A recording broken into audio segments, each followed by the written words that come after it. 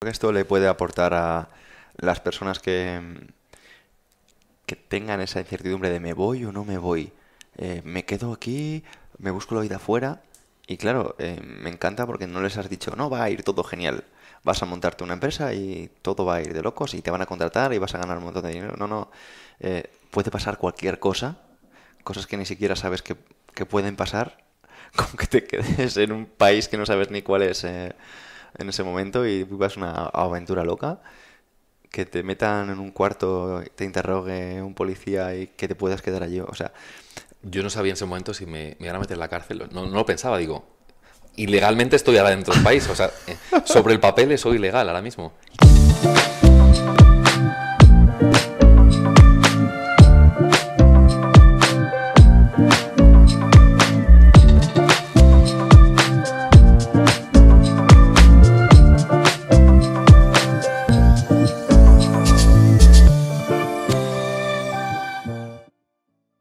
3, 2, 1.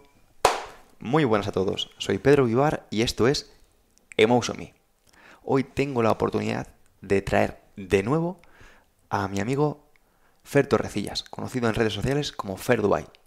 Y es una persona que ya ha estado en estos micrófonos en otras ocasiones, pero sin embargo, si le traemos es precisamente porque al día de hoy nos enfrentamos a mucha incertidumbre hay personas que no saben qué hacer con el futuro cuando la adversidad o cuando la incertidumbre llama a sus puertas. Algunos incluso se plantean hacer cosas distintas a las que han estudiado.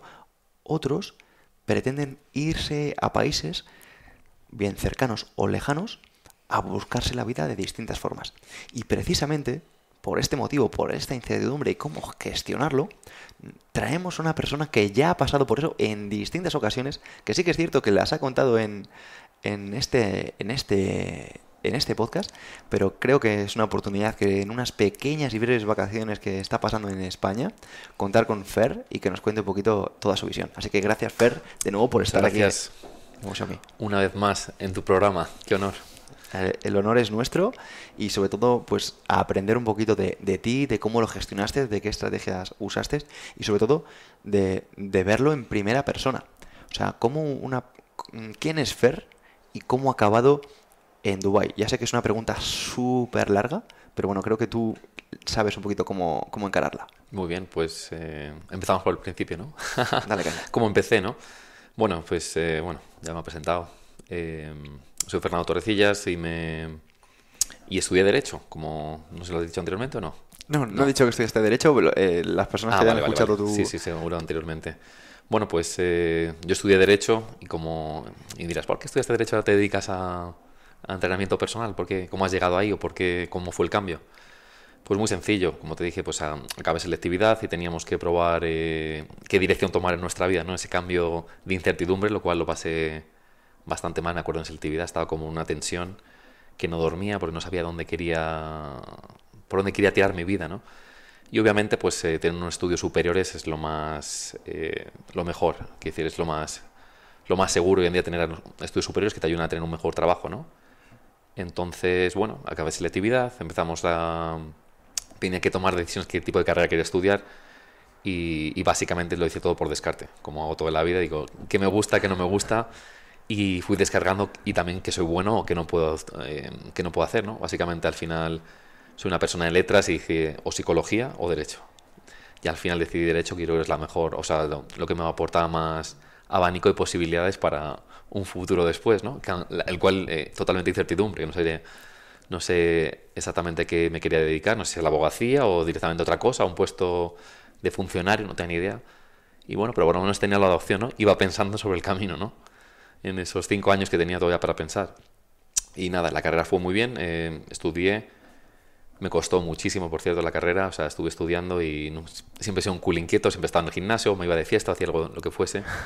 Y, y bueno, pero bueno, eh, poco a poco eh, saqué la carrera, la acabé y justo llegó la crisis del 2008, 2009, ¿no? Sí, sí, en 2008 fue justo cuando pegó el, la crisis en ese momento y bueno, justo de acabar la carrera, eh, muchos de mis compañeros empezaron a, bueno, yo tomo muy claro, uno de mis mejores amigos, quiero ser abogado penalista y me gusta tal, a mí me gusta tal, el otro, otro de mis mejores amigos, quiero estudiar empresa, el padre tenía empresa, y digo, ¿qué cojones hago? ¿Ahora qué hago yo, no? es que no... Y bueno, intenté buscar pues trabajo en España, que en ese momento el mercado estaba, como te he dicho, no pagaban absolutamente nada, cero. Y lo que hacían las empresas aprovecharse, digo, bueno, trabajan seis meses gratis, te doy la patada y, contrato a alguien otros seis meses gratis, lo hacían en, antaño. Y de hecho estuve trabajando para, para un despacho de abogados y no me pagaban absolutamente nada. A todo esto llegó mi hermana y me dijo, oye, tenga... mi hermana trabaja, bueno, ahora es directora de, de una empresa, pero anteriormente hacía como viajes de negocio por el mundo, a Nueva York, a Shanghái. Y dijo, oye, por cierto, tengo un amigo en Shanghái y, y, el mercado allí te va a encantar, he salido por allí. Es como una especie de, mini Nueva York que te va a gustar mucho y, y, es un mercado totalmente nuevo, virgen y con muchas oportunidades. Y dije yo, coño, digo, están todos los lados en el mundo, me he ido a Sudamérica, he ido he vivido en, en Belfast, en Inglaterra, he estado siempre viajando y moviéndome, digo, no tengo a nadie allí, digo, qué, qué, qué, challenge, ¿no? ¿Cómo me voy a mudar allí? Y digo, joder, en China, China está en el otro lado, en el culo del mundo, básicamente. Y, y dije, coño, hay que probar, y digo, aquí no hay nada, digo, y haga lo que haga, quiere decir, eh, siempre tengo la oportunidad de volver, cuando veo a la gente que no toma decisiones, digo, ah, está muy lejos, digo, prueba, prueba. Y si no te va bien, pues el día de mañana vuelves, pero tu casa siempre va a estar ahí, tu madre siempre va a estar ahí, tu hermana siempre va a estar ahí, ¿no? Y yo, pues la suerte, pues tengo mi familia apoyándome. Y me dijo mi madre, si aprovecha, tal, mis padres están asustadísimos, te vas a ir a China, tal. Y dije, yo lo tengo muy claro, aquí es un mercado nuevo, tiene buena pinta, que decir, China es un mercado emergente, sabe que el mercado, o sea, es la futura potencia, digo, las oportunidades tienen que ser abismales. Y nada, pues me mudé allí, empecé a trabajar en, en el contacto de mi hermana, que me pasó, una internship también, me pagaban algo, tampoco mucho. Y, y al cabo de los tres meses, pues saliendo de, fiesta, pues conocí a un, a un hombre, me dijo, oye, estoy buscando, estoy empezando a contratar un, un, equipo de, eh, para trabajar en una empresa, y no lo tomé, estamos de copa, dije, este tío está vacilándome, no creo que tal. Y, y, nada, de repente me escribe y me dice, oye, ¿quieres hacer una, una entrevista en nuestra empresa? Tal. Le pasé el currículum, le gustó y estaban buscando justo a alguien con, con mi perfil. Y justo, bueno, era mi, mi sueño, digo, trabajar por fin en una multinacional, llevar tu traje, estar en, el, en el mejor, la mejor calle de allí, ¿no? Bueno, en el Ban, que es como eh, la mejor zona, como decirte aquí, Gran Vía. Como en American Psycho. Sí, un rollo Wall Street, ¿sabes? el logo de Wall Street. Dije, por fin, mi traje en una multinacional, era la de recursos humanos, ADECO, en China. Y nada, era súper feliz, que decir, había encontrado un trabajo, pensaba que era mi motivación, bueno, estudié Derecho, pero bueno, la, la vida me estaba llevando como a, a más empresa, ¿no? dije que también me gustaba mucho. Y, y nada, la felicidad ya sabes que dura mm, un abrir y cerrar de ojos, ¿no? Entonces estuve trabajando en la empresa de unos, unos seis meses y, y no estaba muy contento. El ritmo de trabajo en China, sabes que es muy, muy, muy fuerte. Los chinos llegan por la mañana, no hablan, no te, no te sonríe nadie, no te escribe, eh, te exigen muchísimo, o sea, no te puedes ir del trabajo antes de las 7 de la tarde. Eh, tienes que, eh, antes que, después de tu jefe, que es lo normal, creo que también en España pasará, y, y, todo es como es la cultura de tengo que trabajar y tengo que ver como que trabajo mucho. Entonces, si te vas, por ejemplo, a las 8 de la tarde, está como muy mal visto, ¿sabes? En China como el, el ritmo de trabajo es muy fuerte, ¿sabes? La cultura china es eh, no viven para trabajar, trabajan para, para, vivir, ¿no? Y no estaba, o sea, no, no va completamente con la cultura española, va a cero, ¿no? De estar trabajando hasta las 11 de la noche y encima para alguien que no, no es para ti mismo.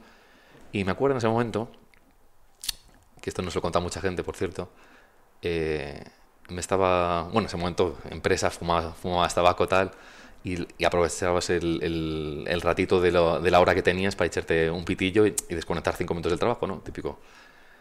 Y, y me acuerdo, hablé con un chino, me, me miró, me dijo, ¿tú qué haces trabajando aquí, tío? Como diciendo...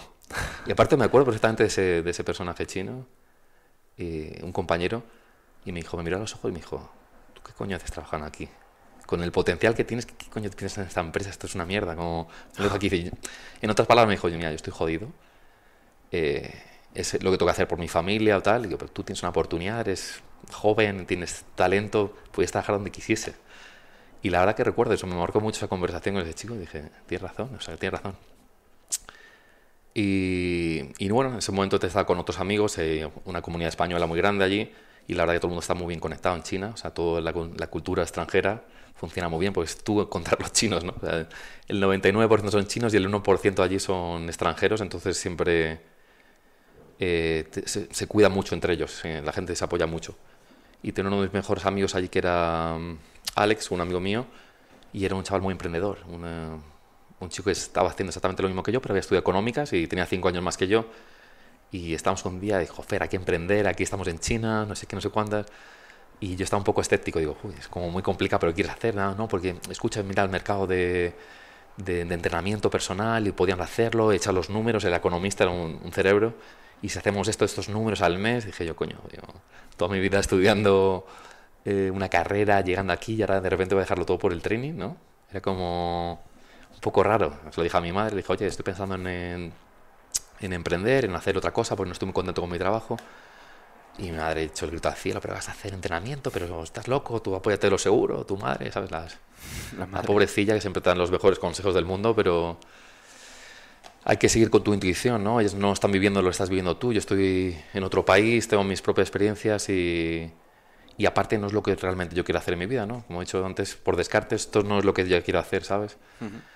Y nada, pues eh, hablé con Alex eh, y al final pues eh, decidimos emprender, dejamos las empresas eh, y fue un periodo muy complicado en mi vida, me acuerdo, porque era otro tipo de transición, de transición de China, de España a China y de China a hacer otro tipo de cosas, otro salto, ¿no?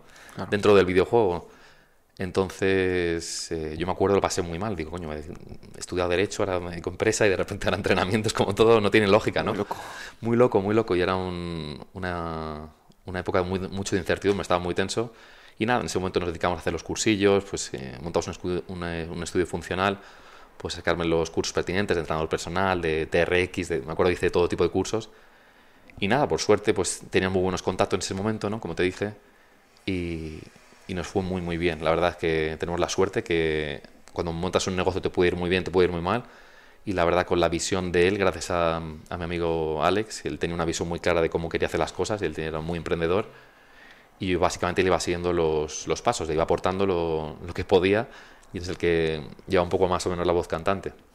Y nada, el estudio de, de entrenamiento personal, de funcional, que ahora se lleva bastante, pero en aquel entonces no se llevaba tanto, eh, pues pegó un boom, como te digo, en el mercado chino, no hay nadie que en China, los chinos no entrenan ni han visto entrenar en su vida. En 2012 sería más o menos. Sí, ¿no? más o menos. O sea, no había nada. O sea, había cuatro, cuatro gimnasios de hierros vi- viejos, típico, ¿no? Típico gimnasio de barrio. Y cadenas de gimnasios, creo que había una o dos en ese momento. Y justo cuando empezamos, empezó el boom del fitness. O sea, la gente empezó a ver cómo empezaban pequeños estudios de estilo y cómo la gente iba de yoga. Y daba muy buen negocio. Era un negocio bastante. eh, Rentable. muy rentable, muy rentable. Empezaron, me acuerdo, justamente, y los chinos, como hacen todo lo, a lo bestia, pues cogen una cadena y montan 20 gimnasios dentro de la ciudad. Otro, la misma cadena, otros 20, eran como todo a lo máximo, ¿no? Y nada, tuvimos la suerte de, de que nos fue muy bien, pues estamos como la, la comunidad extranjera está muy, muy bien conectada allí, pues nos hicimos a- al oído de todos rápidamente y empezamos a tener el estudio lleno de, de gente desde las 6 de la mañana, te digo, hasta las 10 de la noche. Y en ese momento es cuando descubrí que era, que era feliz. O sea, en ese momento me acuerdo perfectamente que era feliz. Dije, coño, es, es- llevo trabajando todo el día desde las 6 de la mañana hasta las 11 y no siento que he trabajado. Digo, esto es el, como el dicho este de, De Confucio. de Confucio, exactamente. Si, si, si amas a lo que, ¿cómo es? El- si encuentras un trabajo que te guste, que no realmente trabajarás. eso es, nunca sentirás que has trabajado en tu vida. Pues justo, me sentí en ese momento en, en el pico de mi vida, de- dentro de la carrera que quería hacer, y dije, esto es exactamente lo que me gusta, lo que me quiero dedicar, y, y mi hobby se convirtió en mi pasión, ¿no? Todo fue muy bien, eh, estuvimos... Y todo esto eh, era mezcla, o sea, hablando chino, porque quiero decir, las personas no saben que, ya- que tú hablas chino. Bueno, yo me defiendo en chino. Cualquiera que me diga, este cabrón hablando chino no tiene, no tiene ni idea de gramática ni de nada. Eh, allí me puedo defender en chino, pero las clases obviamente todas eran en inglés. Y nuestro mercado sí había mucho chino, por ejemplo, alguno de empresa y tal, pero todo chino que venía era con, con estudios en el extranjero. O sea, todo el mundo estaba muy metido en el mercado internacional. Sea, no hay un chino puro que entrenase, no, nunca lo entrené. Ah, decir, gente que ha estado o trabajando en empresas internacionales o ha vivido o estudiado en el extranjero y tiene- le gusta mucho la dinámica extranjero, o la guay, como dirían los chinos. La guay, la guay. El extranjero, ¿no? Y, y nada, todo fue muy bien. Estuvimos, un, como te he dicho, en un periodo muy bueno de, de nuestra vida, él y yo. Y nada, y todo llegó, pues me enamoré de la persona incorrecta y, bueno, de la persona... Bueno, que- que- de la persona incorrecta. ¿Qué sí, sí. ¿Qué significa eso, Esto tío? fue un culebrón, bueno, que te he contado en su día y ya sabes cuál es. Pero me enamoré de una persona que estaba casada. Y no lo sabía al principio. Y, y fue, un- fue la verdad un cuento, no sé si un cuento, una pesadilla, llámalo como quieras, pero fue, bueno, una historia muy, muy complicada. Básicamente esta persona la conocí una noche saliendo, como en un grupo, había como discotecas de chinos, 100%, que ponían, que solo eran 100% chinos, no había ningún extranjero. Y luego hay discotecas que solo van extranjeros y una mezcla que van extranjeros y chinos. Entonces hay tres tipos de, de camas. Y nada, salimos con un grupo de amigos, pues de gente del gimnasio, pues de, de todo el mundo nos juntábamos. Conocí a esta chica una noche de... Y nada, nos gustamos, la chica no me dijo tenía, ni, ni tenía pareja y nada, y luego al cabo de dos semanas, cuando ya fue muy tarde, ya estaba totalmente pillado por ella, y me dijo que sepas que estoy casada, tal, pero no quiero nada serio. Y igualmente, pues eh, nos enamoramos los dos, y, y el resumen o el final de esta historia se decide que tiene que tomar una decisión, que va a hacer, pues va a seguir con, con la persona casada o está sumamente enamorada, pues y al final los chinos pues me enseñaron otra buena lección, es eh, eligen más lo que es mejor para ellos en sentido y que es lo menos conveniente. En lo material, ¿no? ¿Te refieres? En lo material, totalmente. Y la persona con la que estaba casada, justo para, para más redundancia, era el, uno de los dueños de la cadena estos de gimnasios más populares en China, en Shanghái. Y estaba muy bien posicionado económicamente ese hombre. Y, y nada, los chinos si tienen que elegir entre qué es lo mejor para ellos, también con consulta de la madre y tal, pues al final eh, los dos acabamos en una... Lo mejor para ellos, pero estamos hablando de lo más beneficioso a nivel material. Totalmente. No lo mejor. Totalmente. Ah. Exactamente. No, no, que es lo que quieren sus sentimientos. No, los sentimientos no importan en China, es simplemente lo material o con lo que dicen tus padres. Allí eh, la, fitu- la figura paterna es imprescindible. O sea, lo que digan tus padres lo, lo, lo siguen a rajatabla. Es decir, incluso tú eres independiente económicamente, tienes tu trabajo, estás independizado desde hace 10 años, tu padre te dice mañana tienes que tener un hijo, mañana tienes el hijo. O sea, tienen un control extremo sobre los sobre los hijos como no he visto en ningún sitio. ¿sabes? Eso es mentalidad confuciana. ¿Sí? El, sí, el confucianismo eh, se basa precisamente en eso, en que lo que dice el padre es lo que va a misa. De hecho, cualquier tipo de, eh, de discusión, o sea, no, o sea, digamos, se, se basa en el cuarto mandamiento de, de los cristianos, que son honrarás a tu padre y a tu madre. Lo tienen como súper asimilado, pero sobre todo al padre. Totalmente, totalmente. Toman decisiones por ellos y deciden qué haces con tu vida. Tengo otra historia que viene al caso y me gustaría contarla, que bueno, es de mis mejores amigos, a lo mejor me está escuchando, no lo sé. Con Carlos, eh, Carlos eh, lleva 10 años en China, o sea, es de mis mejores amigos allí también, y, y él estaba enamorado también de una china, y Carlos habla chino perfecto, habla incluso sanjainés, o sea, el, el dialecto local, y, y se da genial con los padres. eh, los padres pues se iban a, a casar, entonces presentaron las familias. eh, Carlos le trajo de Málaga a la familia Shanghái, eh, ellos súper enamorados. El padre le caía genial, hablaban chino. con- él tiene un buen trabajo en, en una multinacional, muy bueno. Y habla chino perfecto, o sea, es el, el perfecto yerno, ¿no? Se diría. Candidato, sí. Sí, el perfecto candidato. Y para que veas, pues juntaron la familia de los chinos y la de y la de Carlos como para ver cómo va a ser el tema del matrimonio, todo el, y qué van a hacer. Y los chinos pusieron en el en el en la cena, no, eh, si se quiere casar con mi hija, tienen que comprar un piso. Y Carlos dijo, "Ah, chico, pues no sé si voy a comprar un piso mañana o a lo mejor me quiero comprar en Málaga o ya veremos qué hacemos. Es un poco la mentalidad o nuestra o o sea, no tomamos decisiones sobre mandato. Claro. Y dijo, piso, no hay boda. Y, y Carlos dijo, yo no sé si iba a comprar un piso, aparte los pisos son muy caros en China, pues es como en, una capital son muy, son muy fuertes, ¿no? A lo mejor me- medio millón de euros, lo que fuese, y dijo, no hay boda. No hay boda, el día siguiente ella, cortado con él, y están totalmente enamorados, ya sufrió y tal, y, se acabó la historia ahí. Y, y llevan saliendo más de dos años. El padre dijo, no hay boda, no hay boda. O sea, es que para todas, como lo que diga el padre, sigue la hija, incluso que son independientes, si no te hacen la... La cruz de la familia. Sí, no, no es la cruz, este, te chantajean emocionalmente. Yo me acuerdo con esta chica, me pasó lo mismo.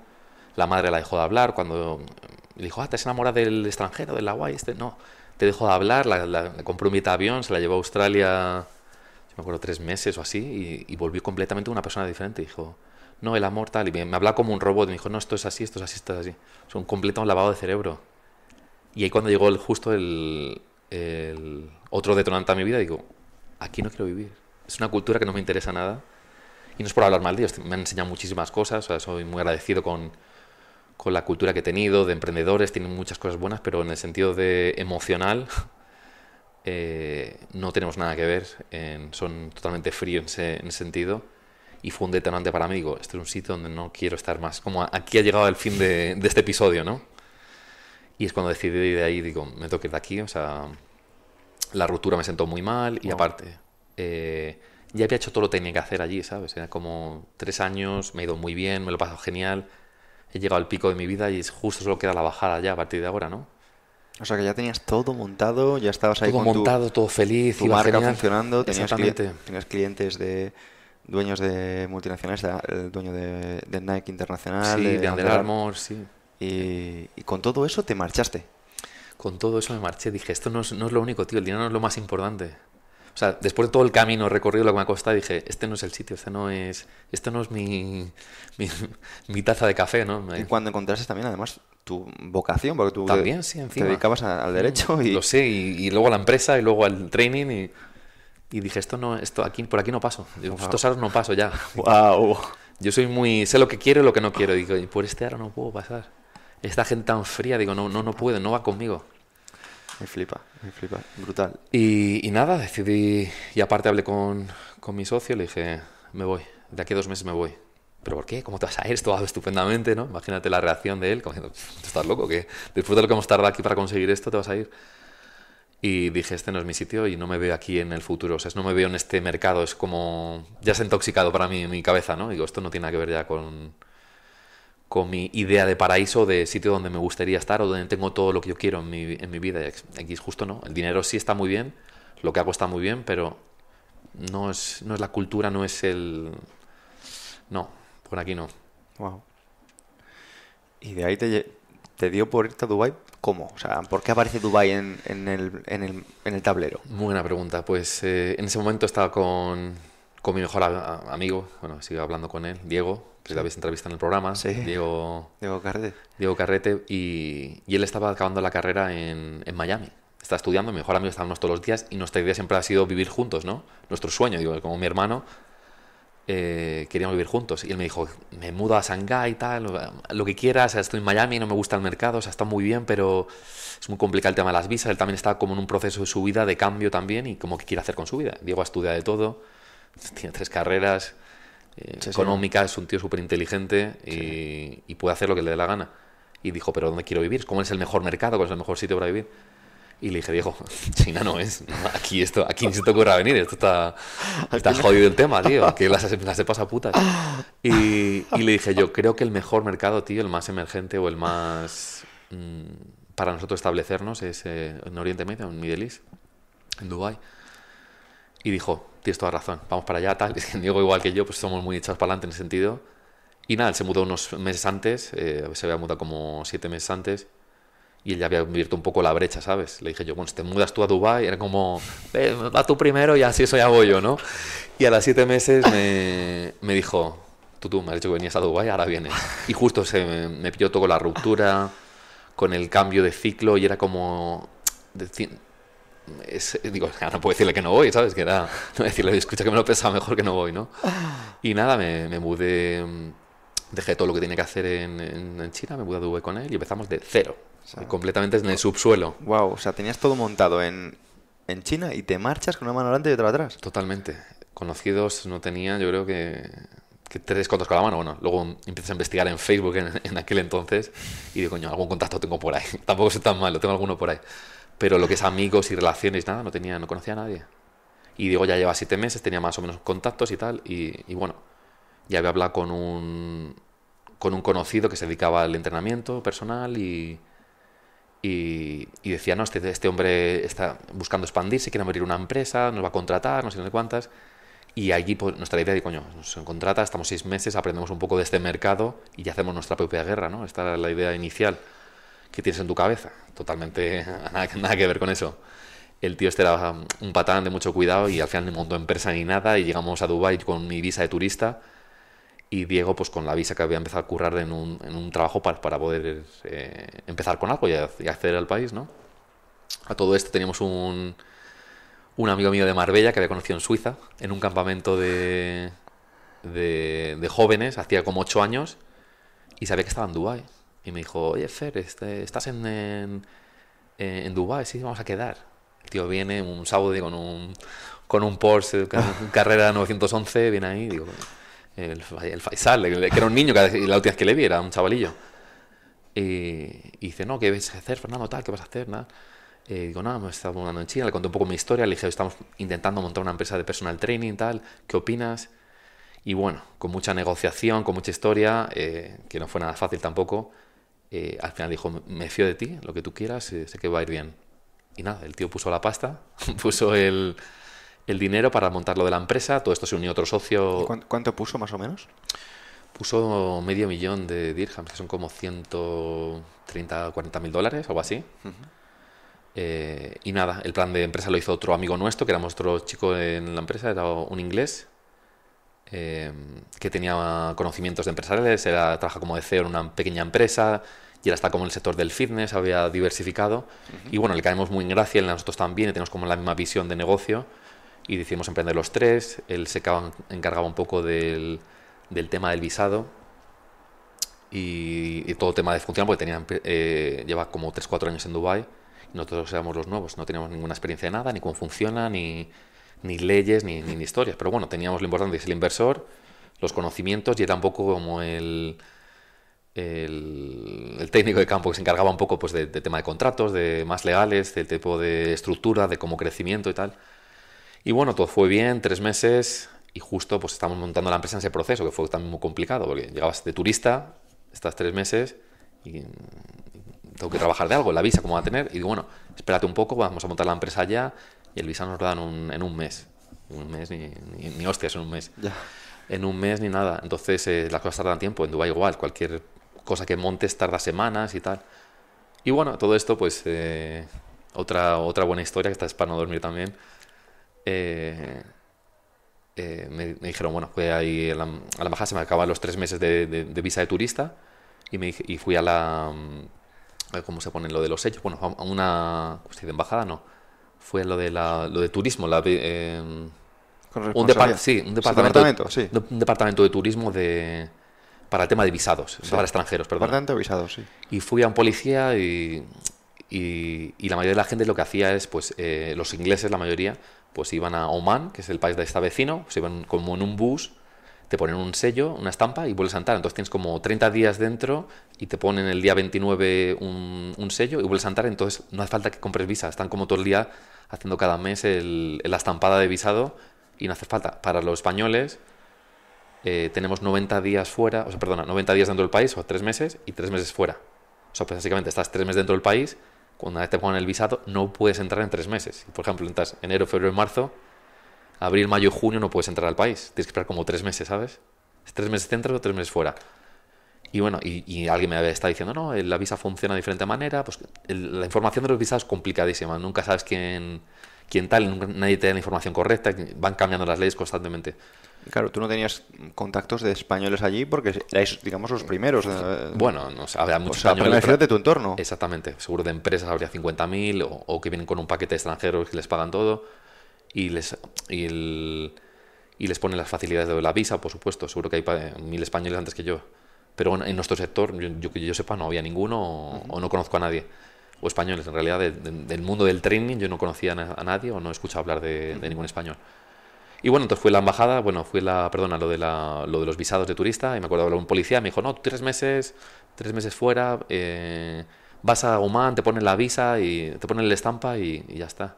Y le dijo, coño, pues habrá cambiado la ley, voy a, okay, no habrá ningún problema. Entonces me cojo el bus de turista, dejo todo en, en mi casa, voy a la, paso por la frontera de, en medio de la, de la nada, o sea, en Oman con las cabras, o sea, era como la película está de Lone Survivor, que están ahí en Afganistán, pues lo mismo. Y, y están como los afganos ahí que, que, te van a matar, y ven los americanos. Bueno, en fin, entramos a Oman y el bus básicamente pone una estampa de salida y otra de. De, de, de, de una de entrada y otra de salida, ¿no? Entonces, como que entras y luego sales por, por, el otro lado y te ponen la salida. Es como si estás fuera del país y ya puedes entrar. Voy ahí, a la, me ponen la, la estampa de, de entrada, voy al pasaporte, y me dicen, no, no, tres meses dentro, tres meses fuera.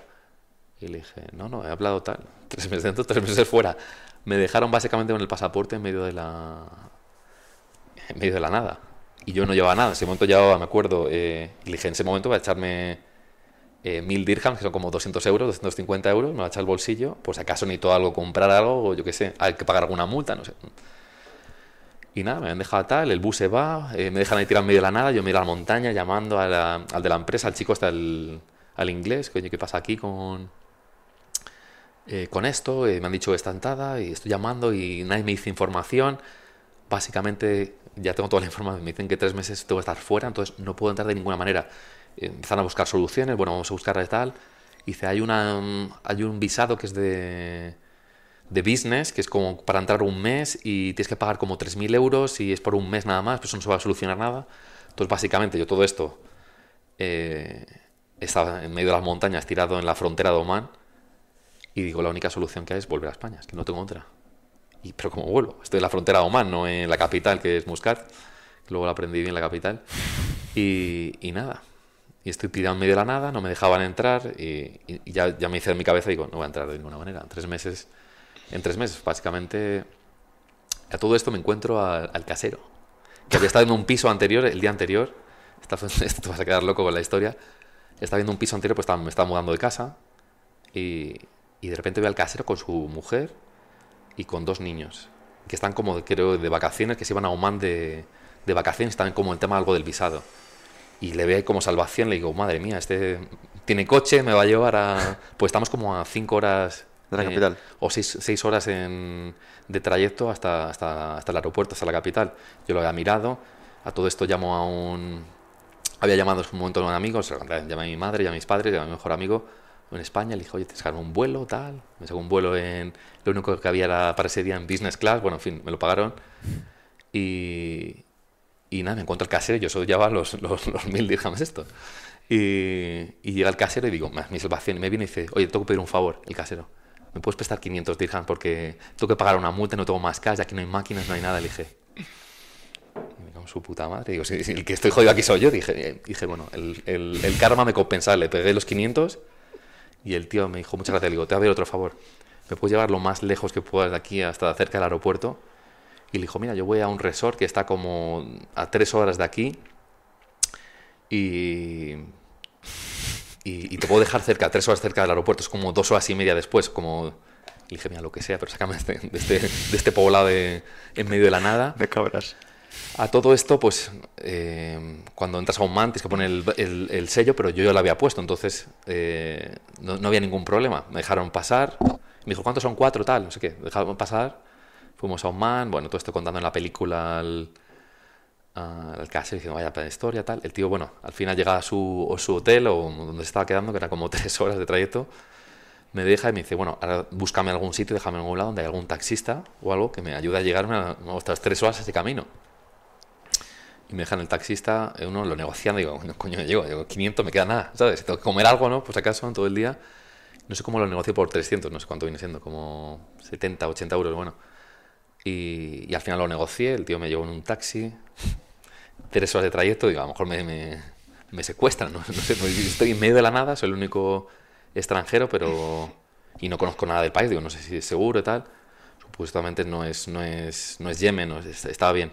El tío me llevó tres horas, pero bueno, me puede dar secuestra, hacer lo, lo que le, le diese la gana. Llego al aeropuerto, ya todo esto con... eh, había salido de mi casa a las 9 de la mañana y eran las... Las 7 de la tarde ya, o sea, todo esto era con una tensión máxima de coger el vuelo y si no cojo el vuelo no hay otro hasta el día de mañana y está con un estrés de qué va a pasar aquí. Bueno, en fin, y, nada, llegamos al aeropuerto y, nada, y voy a pasar el control, y pues ya está. ¿eh? Justo llegó como una hora y media o dos horas antes de que salga el vuelo. Llegó al control y me dijeron, tú, tú, tú al cuarto. Y me cago en su puta madre, que le he hecho ahora ya? Digo, me quiero ir ya de aquí, esta pesadilla que acabe. Me meten en el cuartillo y me dice, ¿por qué tienes una, un sello de entrada y otro de salida? Y ¿qué haces en el país? Porque me había puesto un, sello de entrada y otro de salida cuando está lo de. En, el, en el lado de la frontera, ¿no? Pues tenía un- en- en- entrada y salida en Oman. Y no había pasado, y había salido y había entrado otra vez dentro del coche con esta familia, ¿no? Entonces me lo había fumado directamente, no tenía, o sea, no podía estar en el país. Dice, ¿cómo es posible que tengas un sitio de entrada y una salida hoy y sigas en el país? Y le dije al tío, al policía, le dije, mira, por favor, llevo un día de mierda, no quiero estar aquí. Me ha pasado esto, eh, he tenido problemas, no me han dejado entrar. eh, yo me quiero ir de aquí ya. No me la- yo digo, me van a meter en la cárcel, eh, que este tío es un espía, yo qué sé, no sé qué va a pasar, pero es que mi vuelo sale en media hora y me tienen un cuartillo de la policía.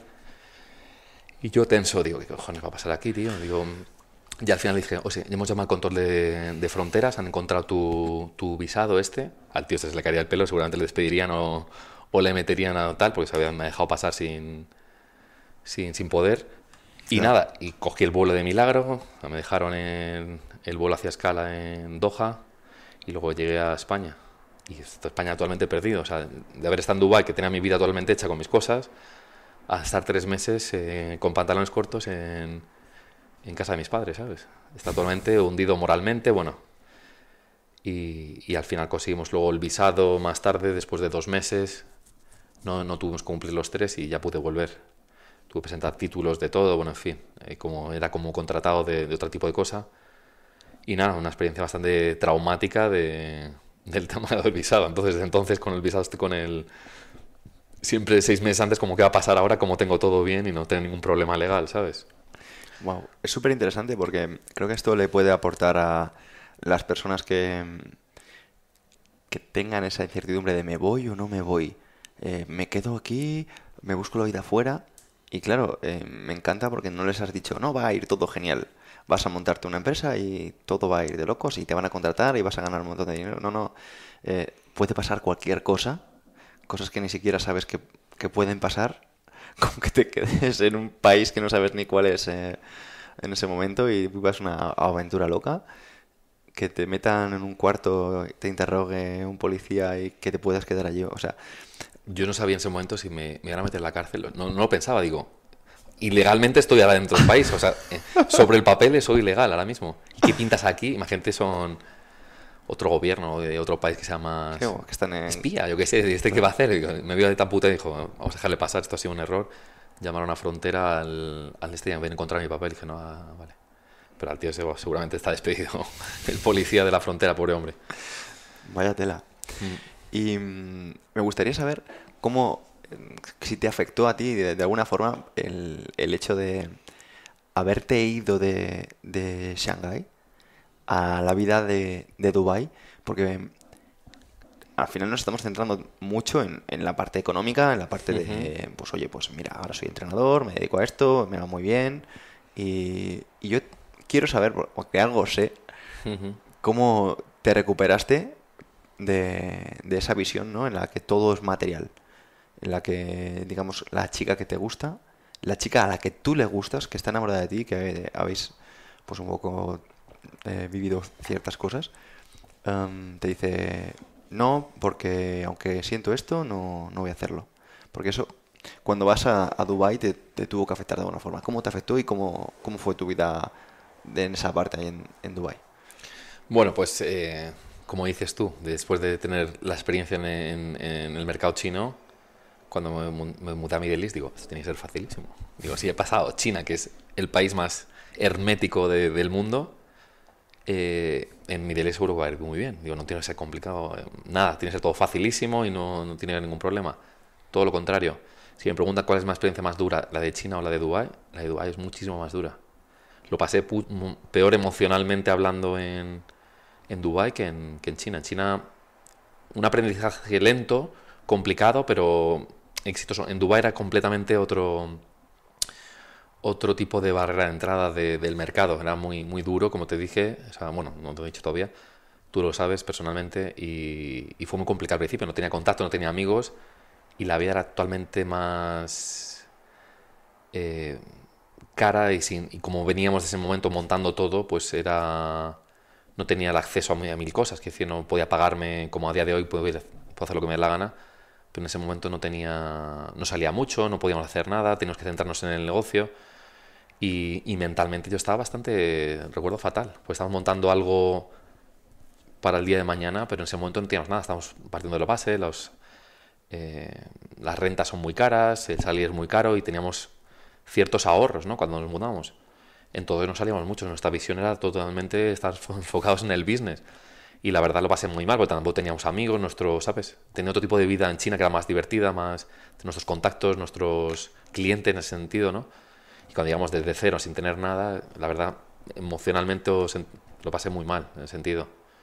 En ese momento conocí a otra chica que... mm, yo parece que esto es de, de- de broma, pero tuve más o menos una historia similar eh, con otra chica, pero Middle East y de la misma categoría. Pues, eh, una chica local, bueno, en realidad era iraquí kurda, o sea, pero sí, básicamente criada en Los Ángeles y tal, y, y estaba divorciada de una persona local también de allí, que es bastante poderosa, como decimos, y, y nada, lo mismo, nos enamoramos, sim- sim- similar historia, y me ayudó mucho al principio cuando estaba mm, empezando Dubai gracias a ella, ¿sabes?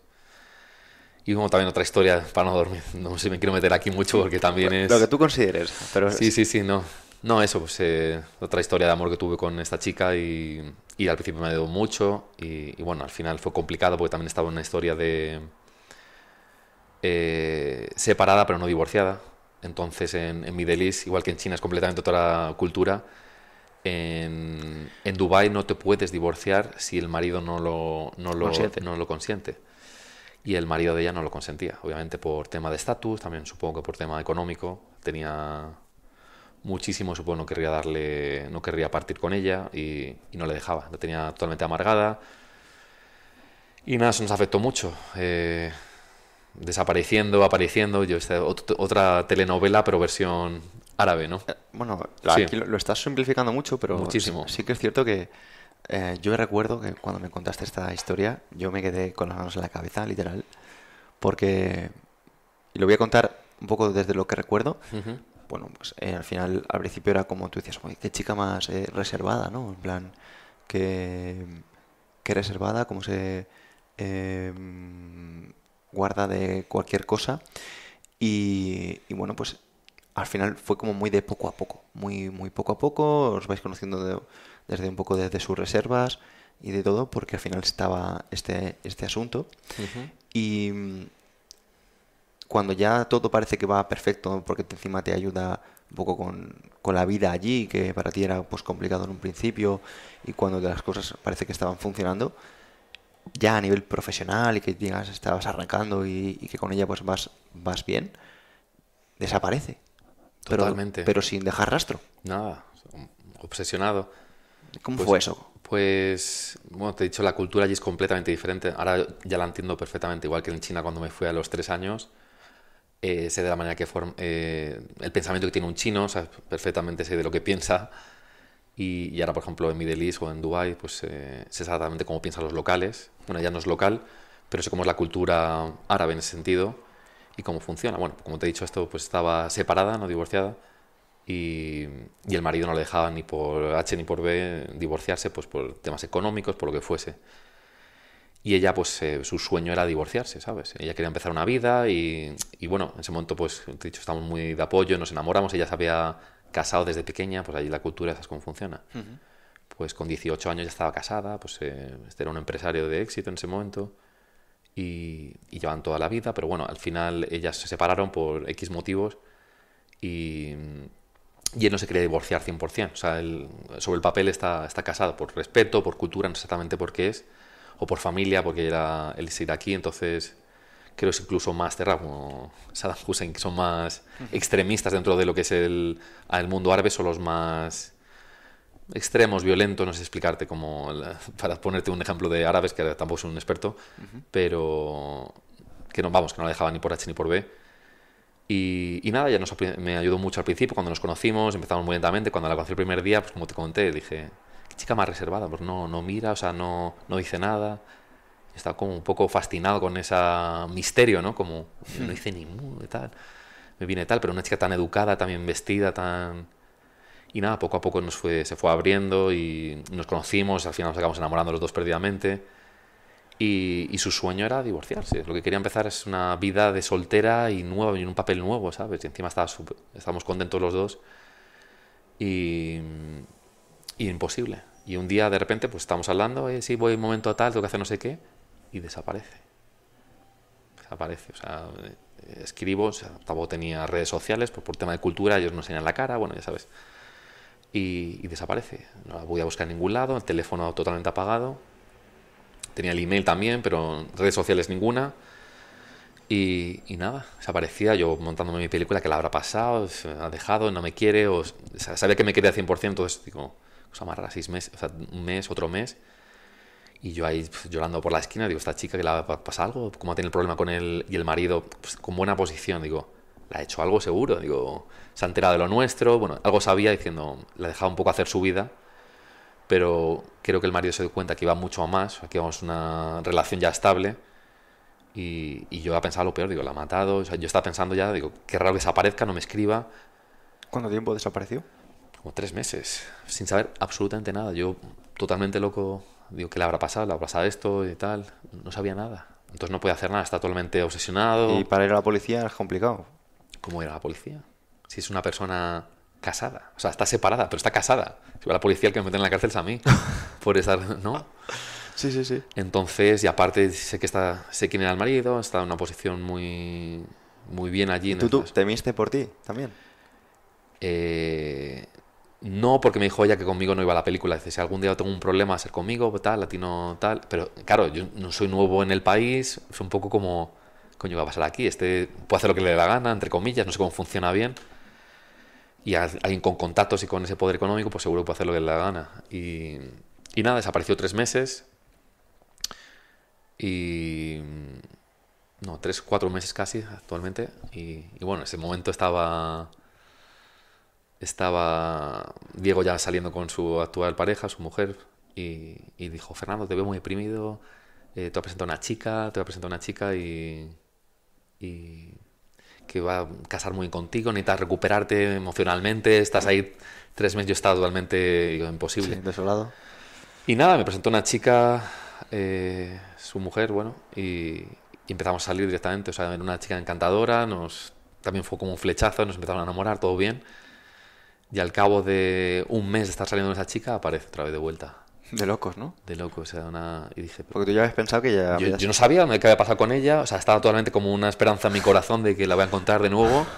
Y era un poco trau- tra- traumática, ¿sabes? Como no sé dónde estaba, pero mi corazón estaba con ella, era, era en ese momento.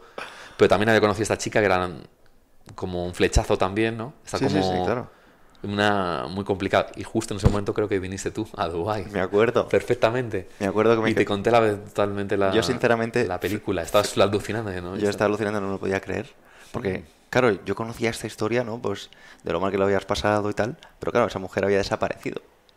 Había desaparecido y tú, pues, eh, tiempo después empezaste a salir con, con esta otra chica Ujú. holandesa. Y, y claro, de repente apareció. Justo, y aparte me acuerdo, llegaste en avión, te quedaste en mi casa, y justo me pasa todo en ese, en ese mismo instante. Claro. Que había vuelto y estaba totalmente... eh, no sabía qué hacer con mi vida. Digo, la chica con la que realmente estaba enamorado y iba a hacer como mi vida, mi pareja y que y queríamos tener como un futuro el día de mañana, o con una chica que está totalmente soltera, que es encantadora, que estoy encantado con ella, eh, que estoy pasando tiempo constante, me, me da cariño, está como entre dos mundos. Digo, ¿qué hago? Eso, está totalmente bloqueado, no sabía qué hacer. Y ahora te pregunté, digo, no sé qué hacer con mi vida, porque esto es lo que ha pasado. Y, vino eh, esta chica, la, la, que, la que estaba desaparecida, y me había contado una película, no sé lo que me ha pasado. Eh, he estado en, en Kurdistán, el- la, el, el- mi marido eh, ha mandado gente a la casa donde estaba mi padre, porque mi padre era antiguo militar de, del bando kurdo, que es general, bueno, antiguo general, y le mandar al padre kurdo. O sea, me ha contado que le habían secuestrado. Es una película para no dormir. Madre mía. Y yo, o sea, todo esto, digo, yo estaba flipando y la tía chica llorando y todo esto porque he dicho que me quería divorciar, le había amenazado a mi padre de muerte, que si se divorciaba eh, mataba a la familia. Bueno, fue una, una película para no dormir y yo me sentía culpable y encima con el culo sucio. Digo, coño, estoy saliendo con otra chica y no sabía cómo, no dije nada porque era, no le puedo decir que no, ¿sabes? Es decir, es que me sentía fatal en ese momento porque la quería, la echaba de menos y encima me sentía yo mal conmigo mismo. Digo, qué cabrón soy que he empezado una relación con alguien Pero encima todo esto en la distancia, porque tú no la veías. yo no la veía nunca. O sea, la veía pues, cuando estábamos bien o, o podía, pues a lo mejor la vería una o dos veces semanales, un par de horas. O sea, Cuando ella se podía escapar, ¿no? Sí, o cuando el marido se iba de viaje de negocios, no la molestaba, pues estaba por ahí, estaba pues, quitándole el coche o la, cancelaba tarjetas, o sea, para que no saliese, ¿sabes? En teoría estaba separada, podía hacer lo que le la gana, pero allí no. O sea, de la teoría a la práctica es completamente diferente. Wow.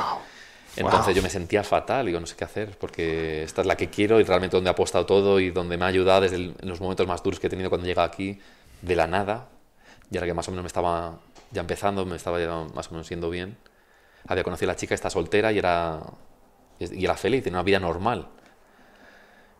Pero bueno, me sentía fatal, o sea, en el sentido de no sé qué hacer, digo, esta la quiero, pero también a esta la quiero, está como, ¿qué hago con mi vida? Está totalmente fatal. Sí, sí, y to- Y todo mientras tanto, al final, es que debemos entender que tú estabas en otro país, o sea, que sigues en ese país, evidentemente, que estás en Dubai con tus proyectos, con tu trabajo, Mi vida seguía, con claro. tu vida siguiendo, y al final con esa dicotomía que al final em, es como, yo me acuerdo que te contaba, tío, es que al final es, es muy complejo en tu caso porque has vivido una relación en el pasado en el que una persona eh, te ha dejado por su marido, ¿no? Encima, sí, sí, claro. Y por algo material, porque es un bloco... Y esta tía justo lo contrario, yo, yo no tenía nada, el marido era ultra poderoso y me había elegido antes que nada, o sea, era el amor, o sea, básicamente sin nada, porque sin, tampoco sin era nada material, sí, sí. Yo, Más allá de lo exactamente. que... Eso, ¿no? Entonces es como una situación de, de vivir en la incertidumbre, porque tampoco puedes verla cuando ella quiera, sabes que no se va a divorciar. Bueno, eh, lo estaba intentando y seguramente me- me- ella me prometía que lo va a hacer de alguna manera, por Sí, Estados pero- Unidos, por alguna así. Sí, pero, no, pero no Sí, po- con incertidumbre, pe- 100%. Pero no podía porque ya te había contado lo de su familia, ¿no? Que habían ido a, a casa de sus padres, ¿no? Que era Claro. como... En tu caso encima, en tu caso encima te lo había comentado por distancia, no personalmente. O sea, vivías todo como de la promesa... No, no, ese, en ese momento me lo contó en persona, ¿Ah, sí? porque se escapó y dijo, tengo una hora, tal, voy a verte. y Una estaba- hora. Una hora de reloj. Y puedes verte tal, no sé qué, no sé cuántas. Madre mía. Y, y nada, me contó, me sentía fatal y no sabía qué hacer, sinceramente, porque estaba con esta chica que también estaba justo empezando y estaba súper contento. Y. O esto que era realmente mi, mi, mi apoyo en, en, en aquel entonces, y la chica también que estaba súper enamorada y quería tener el, el futuro con ella, lo tenía muy claro además.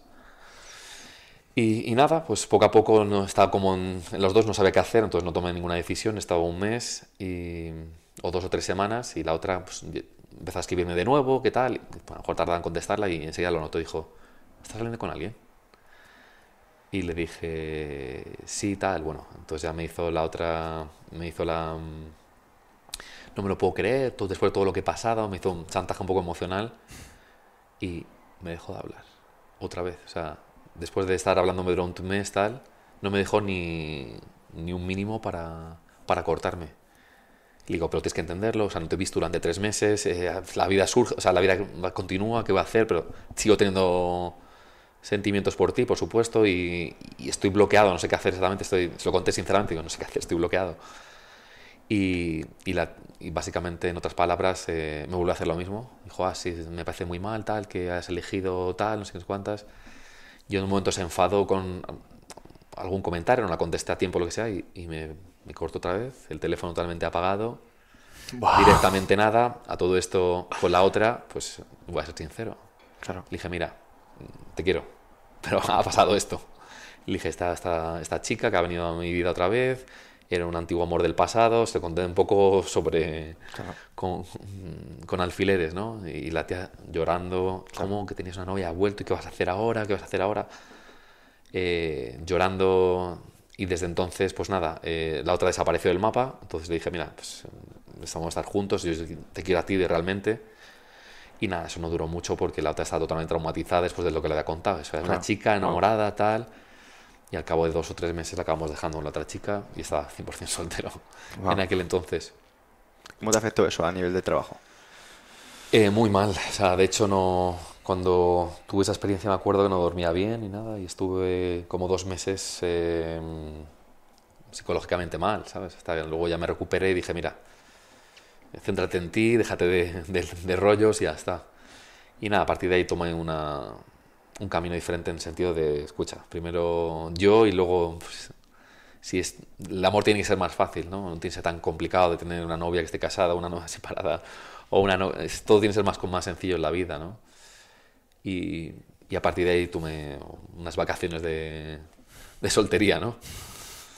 Lo cual me vino bien. Una merecida vacaciones. Vacaciones después de tantos traumas y tantos... Ya lo creo, ya lo creo.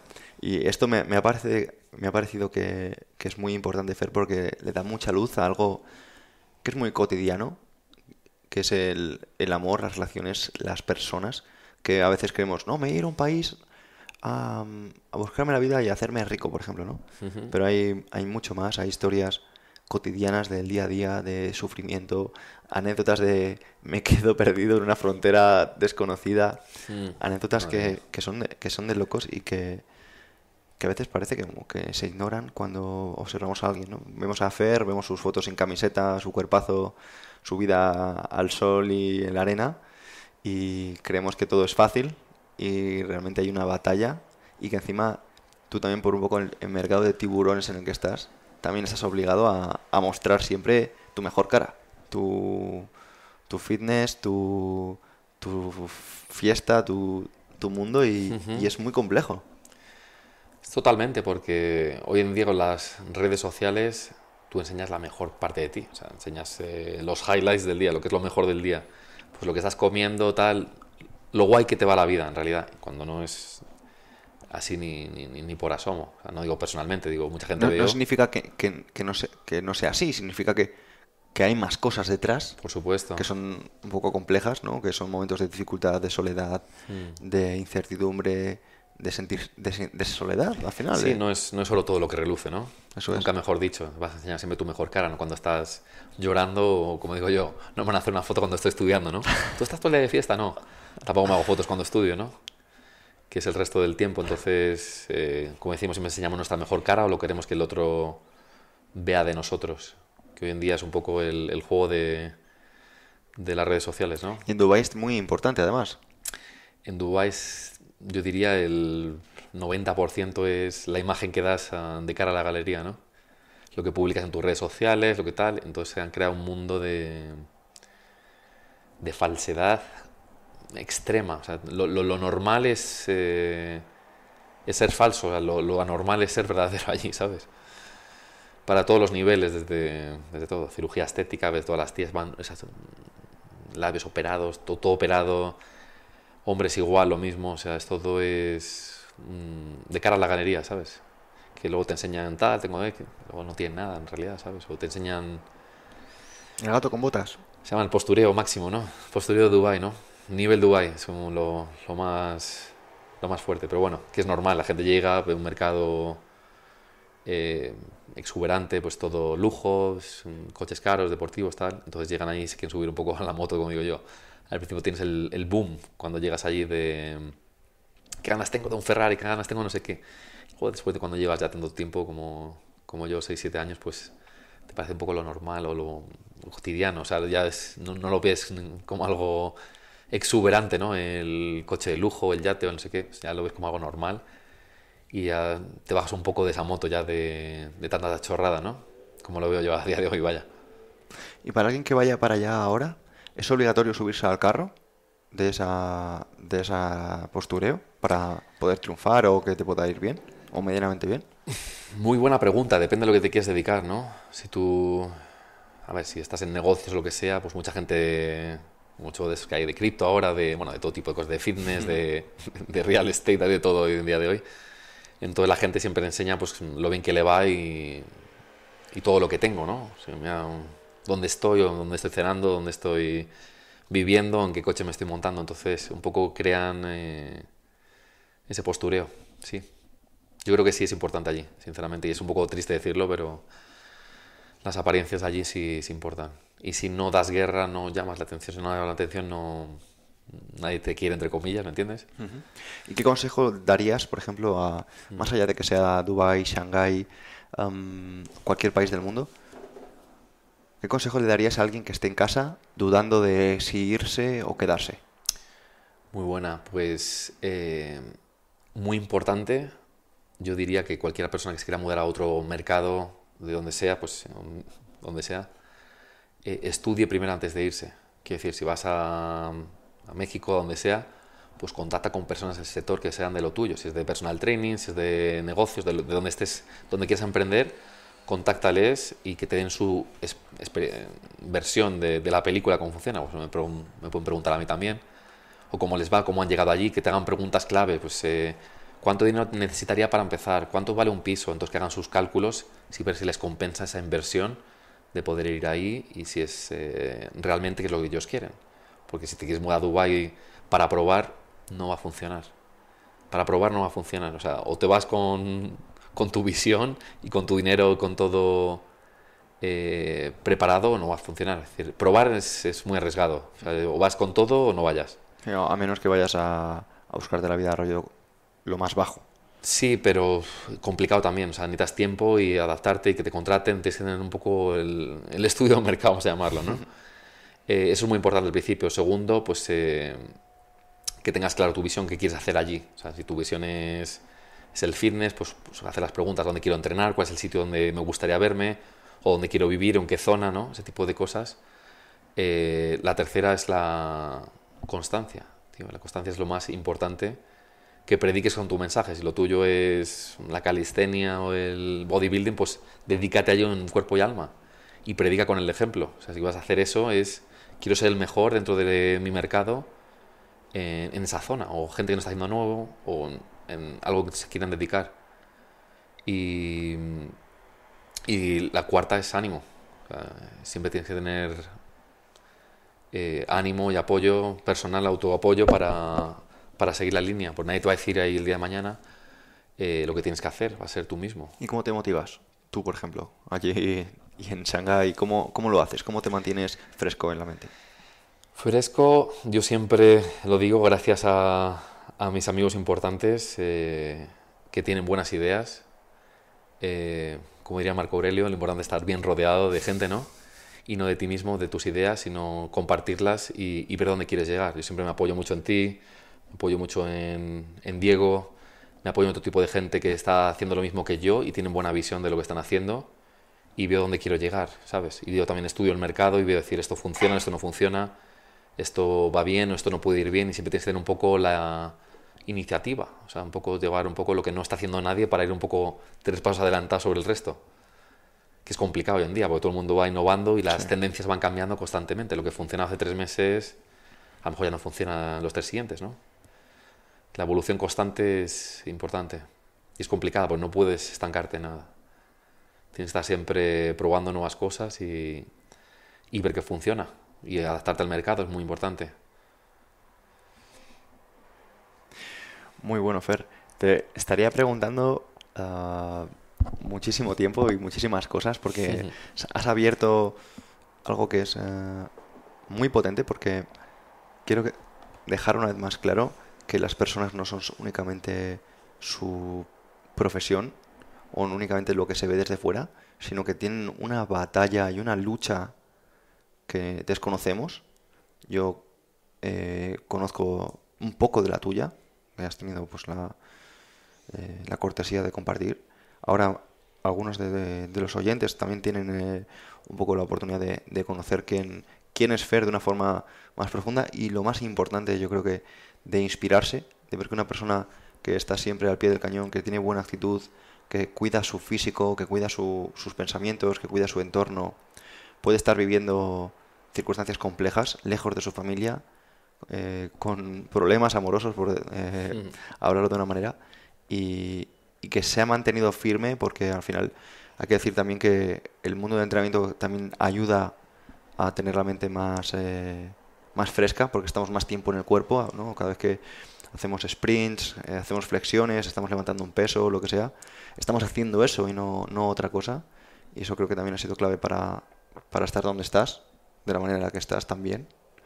Y, sobre todo eso. O sea, yo quería hacer ese pequeño apunte para que se, se valorase de, al final el, las dificultades desde una, desde una forma, ¿no? Que, que vemos a alguien que ya está posicionado y que ya que le va bien, que tiene su hueco en el mercado, que llega a la gente y no nos quedemos únicamente en, ah, pues qué bien le va, ¿no? Sino en lo que ha luchado para que le vaya bien. Totalmente de acuerdo, muy importante. Me gustaría que dejaras un mensaje para finalizar a las personas que estén escuchando esto y, darte las gracias una vez, Fer. Nada, pues el mensaje que tengo es, la gente que quiera emprender, que, que le eche un par y que para volver siempre tienen tiempo. Es importante que, que emprendan, que sigan sus sueños y si tienen una visión clara de dónde quieren ir, que intenten aprovecharla. Que para volver siempre tienes toda la vida, tío. A tu casa, siempre, tu madre, esperemos que esté siempre ahí, pero para equivocarse siempre hay tiempo, entonces mejor intentar probar qué es lo que te realmente te gusta y no decir el día de mañana mm, de ese agua no probé nunca, ¿no? Y nada, mucho ánimo a la gente que esté emprendiendo y quiera, y quiera tener una aventura similar a las, a las que he tenido yo y que ¿no? te, van a dar mucho, mucho poder eh, a todos los niveles, no solo físico, mental, todo, o sea, es, vas a convertirte en un super sapiens, ¿no? De locos, Fer. Em, gracias, tío, porque has sido de los invitados más honestos que han venido al, al programa contando cosas tan, tan personales y, y yo personalmente, en nombre de, de todos los oyentes, te doy las gracias porque es algo en, los que muchos... Yo te voy a contar algo, y a ti y a los oyentes. A ver. antes de terminar. El tema sentimental a mí es algo que me... Me lleva mucha reflexión. Es algo que me... Me, me hace dedicarle demasiado tiempo, te diría. Demasiada energía. Porque no, no conozco a nadie que tenga una receta. Es algo que trato de preguntar a mis amigos, incluso a desconocidos, y, y nada, tío, no encuentro a nadie. Solo encuentro a, gente que me manda mensajes contradictorios y trato precisamente de, de escuchar a, a las parejas, ¿no? Porque a lo mejor muestran esa, esa felicidad, ¿no? Y esa, esos momentos y a lo mejor no, no hay eso. Que sí lo hay, ¿no? Pero también es algo muy, muy circunstancial. Y y es algo que yo personalmente valoro mucho porque no, no, encuentro una, no encuentro una salida, no encuentro una receta. Sí que he encontrado para hacer, eh, para conseguir un, cuerpo 10 o para eh, hacer negocios o, o, para influir en las personas o, o incluso para, para estar tranquilo. Sin embargo, cuando te lo llevas al punto de esto que nos han dicho, de compartir nuestra vida o de, o de almas gemelas o medias naranjas o cosas así. Solo encuentro mensajes contradictorios, encuentro ideas y, personas como tú me hacen ver que, que no solo soy yo, sino que es una guerra que yo creo que vive cada persona. Así que gracias, tío, de verdad, porque lo valoro mogollón. O sea, yo ya lo sabía, sin embargo, que quería compartirlo con los oyentes de Emoción. Y sé que tú también escuchas, tienes aquí la, la taza del programa que solo se consigue cuando se pasan por estos micrófonos y, y creo que has ayudado un montón a, a las personas que estamos buscando esto. Gracias, tío. A ti.